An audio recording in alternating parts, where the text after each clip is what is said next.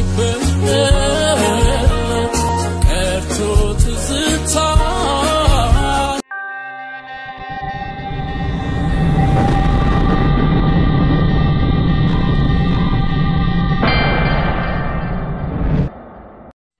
በፊት ፍቅር ጓደኛ እንደነበረችው አውቃለሁ እና በኋላ ላይ ግን እሷ የፍቅር ግንኙነታቸውን አቋርጣ ወደ አሜሪካ በመሄዷ ምክንያት ይመላለሳል። እስካሁን በፊት ሸኛት እስከነበረው ቦታ ድረስ ይመላለሳል። አሁን ከሀያ ዓመት በላይ እዚህ የሆነች የሚወዳት ነበረች ምናምን ይባላል እና እሷን በቃ እሷ በሯ ላይ አስር ይመላለሳል ይሄዳል ማለት በቀን ሶስቴ ምናምን ይመላለሳል። ውጭ ናት ነው የሚባለው። በፊት እሱን አስጠኛዋ ነበረ ይባላል ስሰማ ማለት ነው። አስጠኛዋ ነበረ እየወዳት ነበረ ምናምን እና በዛ ምክንያት እሱ ሳያቅ ብድግ ብላ አሜሪካ ሄደች።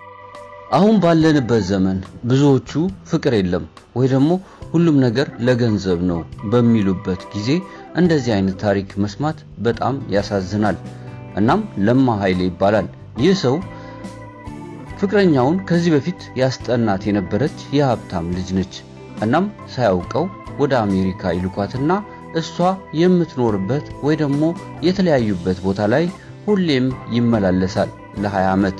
ውድ የአሞራ ቤተሰቦች፣ ውድ ታዳሚያን በመላው ዓለም የምትገኙ እንዴት ናችሁ? የለማን ኃይሌ ሙሉ ታሪኩን ለእናንተ ይዤላችሁ መጥቻለሁ።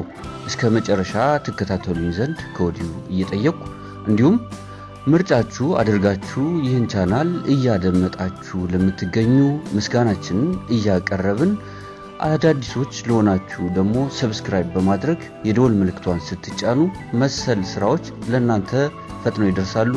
አብራችሁ ይሁኑ። አካባቢው ላይ የሚመላለሰው የቀድሞ ፍቅረኛውን ፍለጋ ነው። እሷን ካላገኘ አይኖቹ እንደበሩ ይቀራሉ። ሁሉንም ነገር በእሷ ውስጥ ይታያሉ ለ20 ዓመታት። ነገር ግን በአካባቢው የሚያገኙት ሰዎች የሚለምን ይመስላቸውና ሳንቲም ወይ ደግሞ መሰል ምግብ ነገሮችን ጣል በማድረግ ያልፋሉ። የእሱ ፍላጎት ግን እሷን ብቻ ነው። እሷን ማየት የምን ጊዜም ህልሙና ረሃቡ ነው። ነገር ግን አንድንም ሰው ለምኖ ወይ ደግሞ ጠይቆ አያውቅም። ሰዎች በግላቸው ተነሳስተው የሚፈልጉትን ነገር ይሰጡታል። የሚያመጡት ማታ መጥቶ ይወስዱታል። ከራሱ ቤት ተነስቶ የልጅቷ ቤት አካባቢ ድረስ ነው walk ም የሚያደርገው። ከዛም አያልፍም፣ ከራሱ ቤትም አያልፍም። ለማ ኃይሌ የበቃና የተማረ ነው። በኢንጂነሪንግ ዲግሪውን ያገኘ። ከዚህ በፊት ከ20 ዓመት በፊት በዛ አካባቢ ምንም ነገር አልነበረም የነሱ ወይ ደግሞ የፍቅረኛው ቤት እንጂ። በአሁኑ ሰዓት ቀለበት መንገድ ተሰርቶ ቦታው ተጸርቶ የተለያዩ ዲዛይኖች ወጥተውለታል። ነገር ግን ኃይሌ እዛው ነው፣ ምንም ነገር የለም። ከ20 ዓመት በፊት በአካል ነበር የሚያገኛት። ከ20 ዓመት በኋላ ግን በሐሳብ እዛው ቦታው ላይ ሰዎች እሱን መክረዋል። ብዙ ነገርም ለማድረግ ተሞክሯል። ነገር ግን ሐሳቡም ሁለመናውም እዛው ነው ሄዷል። እሷ እስከምትመጣ ድረስ ከቦታው አይነቃነቅም። ጠዋት ከቤቱ ቁርስ በልቶ ይወጣና ምሳ ሰዓት እስከሚደርስ ድረስ እዛው ይጠብቃታል። ምሳውንም ለመብላት ቤተሰቦቹ ወደ ቤት ይወስዱትና ምሳውን በልቶም ከመጣ በኋላ አሁንም ይጠብቃታል።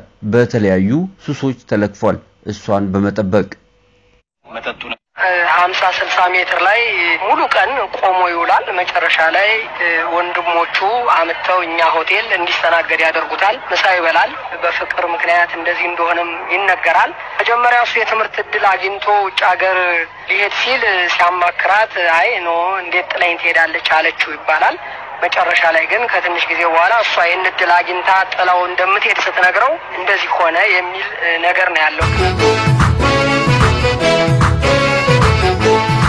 ገና ገና በእዋኑ ገና ገና ገና ገና ካፈለ ማየ ብዙ ሰዎች ጠጋ ብለው ሊጠይቁት ይሞክራሉ። ምንድን ነው የሆንከው? እንዴት ሆንክ? ምን እያደረክ ነው?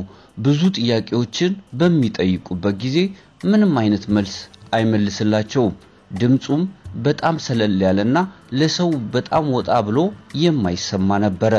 እናም ስለ ስሙ ሲጠይቁት ለማ ኃይሌ ይላቸዋል። ስለ ዕድሜው ደግሞ ሲጠይቁት 48 50 በማለት ነው የሚመልስላቸው።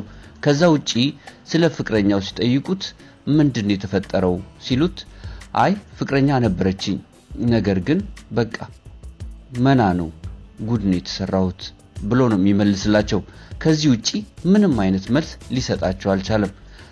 እናም በዚህ አጋጣሚ ወንድምየው ወደ ሬስቶራንቱ ሲገባ ወንድሙን የማግኘት እድል ያገኙት የሸገር ዘጋቢዎች ከወንድሙ ጋር ያላቸውን ቆይታ ምን ይመስላል? ፍቅረኛ እንደነበረችው አውቃለሁ። ፍቅረኛው ጋር በመካከል ላይ የመለያየት ችግር እንደመጣ ከዛ በኋላ socially depressed መሆን አይነት ባህሪ እንዳመጣ ማትሪክ መውሰድ ይፈልግ ነበር። ማትሪክ መውሰድ አልቻለም። የዛን ጊዜ በቃ የተስፋ መቁረጥ ከባድ depression አለው። ራሱን ከሰው አገለለ። እዚህ ቦታው ላይ ከቤት ወጥቶ እዛች ቦታ ላይ ይቆማል። ረጅም ጊዜ እዛ ቦታ ይቆማል። ቤት ይገባል፣ ይወጣል፣ ይወጣል፣ ይገባል። እኛ ቤት ላይ ናት። መንገድ ላይ ነው የሚቆመው። አሁን ያለው ሁለት ቦታ ተከፈለ መንገዱ። በፊት አንድ አስፋልት ናት ያለችው። ያንን ተሻግሮ ቆሞ እዛቸው ጋር ይቆማል። አሁን ቤት ስንቀየር ይሄን ቦታ ስለለመደው ያቺ ቦታ ላይ በቃ habit ሆኖበታል። ረጅም ጊዜ ነው፣ ሀያ ዓመት በላይ ሆነዋል። ፍቅረኛው የ best friend ኦቹ እህት ናት። እነሱ ቤት ነበር የሚውለው፣ እዛ ነው የሚገናኙት። ወንድሙ እንደሚናገረው ለማ ከዛች ካፈቀራት ሴት በፊትም ሆነ በኋላም አፍቅሮ አያውቅም። እሷን አፈቀረ፣ በእሷ ውስጥ በትዝታ ይኖራል። ፍቅረኛውም ነዋሪነቷን በሰሜን አሜሪካ ያደረገች ስትሆን የወለደችና ባለቤትም ያላት ነበረች። ነገር ግን ይህን ነገር ስትሰማ ወደ ኢትዮጵያ በመምጣት ቦታው ድረስ እሱን ለማግኘት ሞክራለች። ስታገኘውም በጣም እቅፍ አድርጋ ነበር የሳመችው። ነገር ግን እሱ ሊለያት አልቻለም። ምናልባትም ሊለይ የማይችለው እሱ እንጂ እሱ አትሆንም። ፀሐዩ ገርፎታል፣ ብርዱም እንደዛ አጠቋቁሮታልና። ለማም ማንንም ሰው ማናገር አይፈልግም። ከሌሎች ሰዎች ጋር ሲገናኝ ሁሉም ነገር ከንቱ የከንቱ ከንቱ የምትል ድምፅ ብቻ ነው የሚያወጣው። ከቤተሰቦቹ እና በተለይም ከወንድሙ ጋር ጥሩ የሆነ ንግግርና ግንኙነት አላቸው።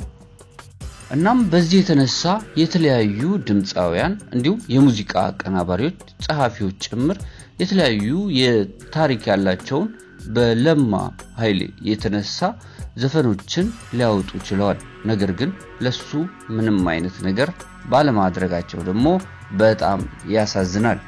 በጣም አይቼም ሰምቼም አላውቅም። በፊልሞችም አይተናል። ታይታኒክ ፊልም አይተሃል። በቃ ትልልቅ ለፍቅር sacrifice የሚያደርጉ ነገሮችን አይተሃል።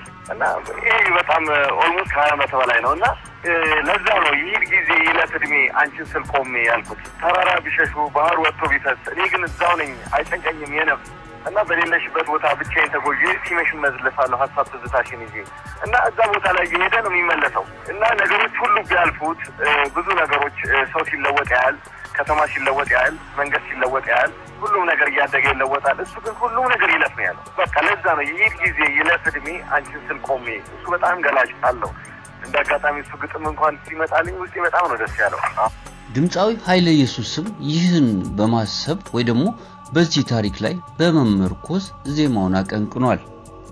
እንኳን ደህና ቆየኝ። ዛሬ ሳገኝህ የለማን ታሪክ አስታወስኩኝ። በልዩ ወሬ ላይ የለማን ታሪክ አቅርቤው ነበር። አማን ይህንን ሰማ፣ ወደ ሙዚቃ ቀየረው፣ ለአንተ ሰጠህ፣ ተጫወትከው። እንደው መጀመሪያ ሲደርስህ ግጥሙ እንዴት ነበር የተረዳኸው? ይህን ዘፈን ሲሰጠኝ አማኑኤል መጀመሪያ ታሪኩን ከሬዲዮ ሰምቶ እንደሆነ እውነተኛ ታሪክ እንደሆነ ነገረኝ። በእርግጥ እኔ በዛን ሰዓት ሲነግረኝ እውነት አልመሰለኝም ታሪኩ። የነገረኝ ታሪክ በጣም ይከብዳል። ዝም ብዬ ለዘፈኑ ማንኛውም ዘፈን ያው ዘፋኝ ዘፈን እንደሚያጠና አጠናሁት። ግን አልበሙ እንደወጣ የባለ ታሪኩ እውነተኛ ታሪክ እንደገና ሁለተኛ ዙር ከዘፈኑ ዘፈኑ ከወጣ በኋላ እውነት መሆኑን እየተረዳው ስመጣ በጣም የዘፈኑ ጽሁፍና የእውነተኛ ታሪክ ባለቤቱ በጣም ነው ማለት በጣም በጣም ነው የገረሙኝም በጣም ነው ያሳዝነኝም። እኔ ደግሞ በጣም የገረመኝ ነገር ታሪኩንም ከሰራሁት በኋላ አንተ ራስህ ነህ የምትመስለው ዘፈኑ ላይ ባለ ታሪኩ። ነገርኩህ እኮ ዘፈኑ ሰርቼ እስከመጨረሰው ድረስ ታሪኩን ሰምቼዋለሁ፣ ግን እውነት አልመሰለኝም። እኛም እንደ አእምሮ መዝናኛ ለለማ ኃይሌ ጥሩ ስሜት ወይ ደግሞ ወደ ጥሩ የጤንነት ሁኔታ ይመለስ ዘንድ ያው እንማጸናለን ማለት ነው። ውድ አድማጮቻችን የነበረን ቆይታ ይህን ይመስላል።